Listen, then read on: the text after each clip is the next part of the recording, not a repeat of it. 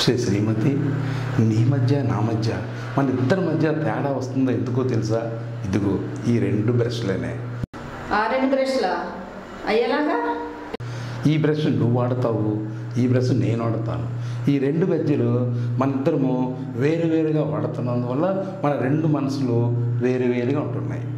మన ఆలోచనలు వేరేగా ఉంటున్నాయి. మనం ప్రయాణం కూడా రైలు పట్ట వెళ్ళినట్టు ఇటు ఒక దారి అటు ఒక దారి అవుతుంది. అందుకని ఈ రెండు బ్రష్లు వాడకుండా మనం ఒక బ్రషే వాడదాం. అందుకని ఈ బ్రష్ని తీసేస్తున్నాను ఒక బ్రష్ని మన ఇద్దరం వాడదాం.